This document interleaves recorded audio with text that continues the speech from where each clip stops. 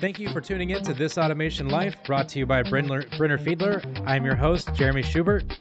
Each week, we discuss technologies used in automation. This week, Ed Neff, president of SMAC, is here with Brenner Fiedler to discuss voice coil actuators. Thanks for joining us today, Ed. Thank you. So, Ed, when we talk about a voice coil actuator, I think that may be something a lot of people haven't heard of before. What is a voice coil actuator? Well, voice coils are um, those are the driving mechanisms for speakers. So uh, we started out, we called our, our units voice coil actuators because they were single pole. Now we we we make single pole, multi pole. So we really um, prefer to use the term moving coil actuator. Okay. So it's okay. basically it's a linear motor where they where there's two types of linear motors. Basically, the older technology is moving magnet. You move a magnet, and the coils are fixed. And the newer technology is moving coil, where the magnets are fixed, you move the coil.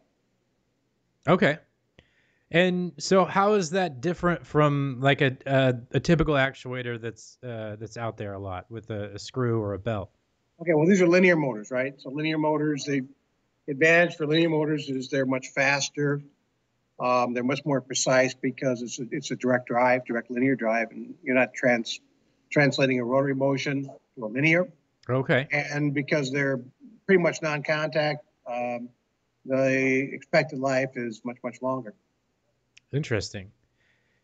So, is this available in in both uh, like rod style and rodless style? Yeah, there's slides, there's shaft types. On the shaft types, um, we have strict linear, and then we have uh, um, something that we invented, which is called a linear rotary, where we, are carrying a separate rotary motor so the, the rod can go back and forth and then rotate independently.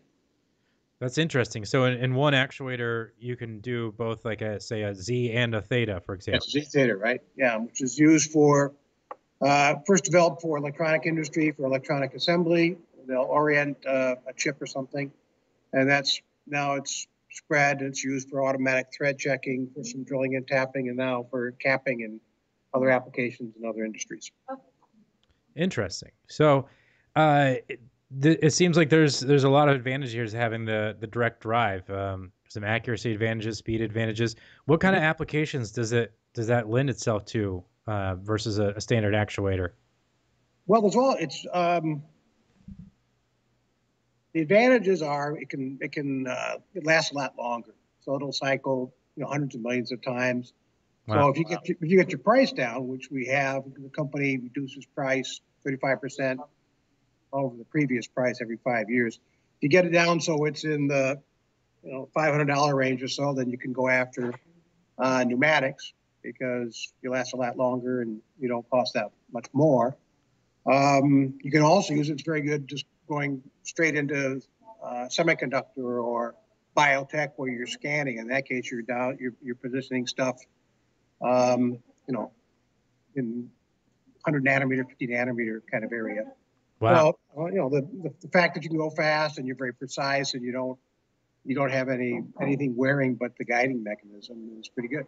So it sounds like generally any application right now where there's there's a motion there could be some benefits to voice coil, whether it's a life cycle, whether it's speed, whether it's accuracy. Yeah, then, with ours, um, and they're unique about. There's one other thing that's that's uh, different about them. Uh, we can bump into services and uh, use those to program a force, so we can push, pull. Um, and if you got an iPhone, just about everything that's done in that iPhone, manufacturing-wise, is done with us. Uh, we have we, we have some some new applications where we're landing and programming forces with uh, way under a gram uh, resolution. Wow. So that's definitely something you can't do with a pneumatic cylinder. You're able to not you just. Yeah, you can't do, it with pneumatic. You can't do it with ball screw. Um, moving magnet's pretty hard because the masses in a moving magnet, because it's a magnet, are are much much uh, larger than ours, right? right. So, so um, for precise force control, um, it's pretty good. Interesting. So now you can not just do pressing, uh, pushing, pulling, that type of thing, but you can also do it to the exact force that's required, or or check the force that you did the well, pressing. You can do yeah, you can you can do all sorts of things. Like you know we're we're the standard at Ford for any switch testing, anything that's human interface on in their cars now. And what you're doing then is you're bumping into a surface, pressing with forces, and then and then feeding back what's happened. Where's the switch point on the switch? What's the hysteresis loop? So the devices are mechatronic. That means that in, in our case, we can we control all these functions, but we also have feedback, which, so we know what we did and, and was it done correctly or not. Very cool. And so you kind of touched on something back there a little bit. It, just, it seems like there's a lot of advantages. Um, from a disadvantage standpoint, is there any reason somebody wouldn't just use a, a voice coil actuator?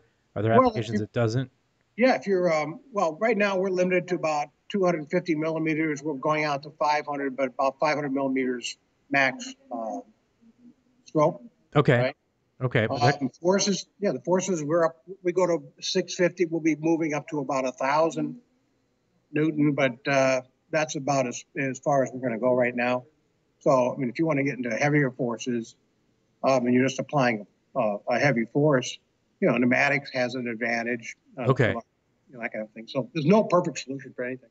Sure, right, and and you said a thousand newtons. That's about like 220, somewhere around there, pounds, 225, oh, yeah. in that ballpark. That's right. Okay. So, so what's needed to make a, a voice coil system work? Um, is there an actuator drive, or, or what all do you need? It's a, it's a. This is a servo motor. Know, ours act. They're not. They're not. We. They're not brush motors, but they. Uh, the brush. They act like they act like brush or brushless motors, depending on not whether they're you know, one pole or multiple. Okay. So you need uh, you need uh, well, servo controller. Uh, there's an encoder which we manufacture ourselves. One of the reasons we can keep the prices down. In the actuator, then you need a power supply with 24 volt, 48 volt DC. Uh, because it's a moving coil and the masses are light, we're low current. You know, where uh, a moving magnet would would run at five to 10 amps. So you got to be really careful with it. Yeah. Um, so your safeties are in. But would normally run in the one to 1.5 amp range, right? Interesting. Cool. Okay. It's exactly what it is. Cool. Yeah. Uh, that, that, sounds like you. So you've got your controller and, and actuator cables, I'm sure, connecting, and then power supply in the system, and, and you're off and running. Yeah, and the, and the newest one that we have the our newest ones are out called CBs. Uh, those are round. They look like air cylinders. You know, they're linear motors, but look like air cylinders.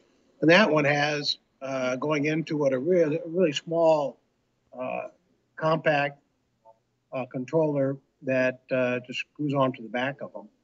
So, oh, nice. And with, with there's a lot of work on GUIs these days to make it easy to use, and one of them is a GUI that makes it easier to set up uh, than an air cylinder, which is uh, pretty good.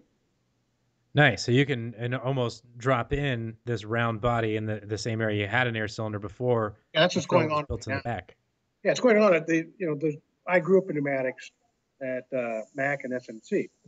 And you know, 25% of the air cylinders that are sold every year are just going out to replace ones that failed. You know, the, any high-speed application, which means faster than two hertz, um, that thing's going to break eventually because you can't slow it down. So if you can have something that drops in that'll last you know, five years, 10 years versus three to six months, and you know that's a benefit. Yeah, less downtime, less replacements. That's great. Yep. And there's a there's a tendency, you know, more and more. You start out with, uh, you know, CNC machining, machining centers all programmable. Moved into to electronic assembly. Maddox got kicked out of there. Everything there is programmable, so you can make changes on the fly. Now that's starting to move into automotive, and it's moving into packaging. Hmm. Very cool. Well, that's all the time we have for this week. Ed, thanks so much for joining us. Okay. And thank you all to for listening to Brenner Fiedler's This Automation Life. If you have any questions about what you just heard, or if you have a topic you'd like to hear discussed, please email us at tech, that's T-E-C-H, at brfa.com. And be sure to, continue tuning in each week as we come up with more episodes.